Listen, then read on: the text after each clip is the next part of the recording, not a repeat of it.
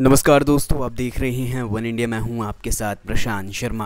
Pro kabaddi में आज double header में दिग्गज टीमों के बीच भिड़ंत देखने को मिलेगी, जिसमें शाम का पहला मुकाबला दबंग दिल्ली बनाम जयपुर पिंक पैंथर्स के बीच खेला जाएगा। आज ये दोनों टीम एक बार फिर से इस लीग में भिड़ती दिखाई देंगी।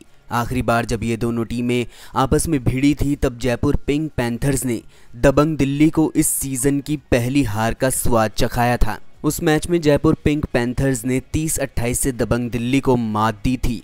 ऐसे में आज दबंग दिल्ली पिछली हार का बदला लेने मैच में उतरेगी। अगर बात करें दबंग दिल्ली की तो ये टीम इस वक्त अंक तालिका में पहले पायदान पर है।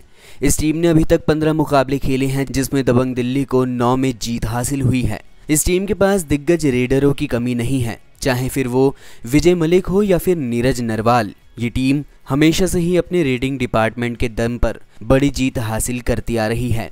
इस टीम का डिफेंस भी और टीमों से मज़बूत नज़र आता है। तो ऐसे में कहा जा सकता है कि दबंग दिल्ली सही मायने में एक बैलेंस टीम नज़र आती है। वहीं बात करें अगर जयपुर पिंक पैंथर्स की तो ये टीम इस सीज़न की सबसे अंडरडॉग टीमों में से एक है, जिन्होंने इस साल ऐसी ऐसी टीमों को हराया है, जो कभी नंबर एक के पायदान पर थी, जिनमें से एक नाम दबंग दिल्ली का भी है। इस टीम के रेडर अर्जुन देशवाल ने इस टीम को अकेले दम पर कई बड़ी जीत दिलवाई हैं।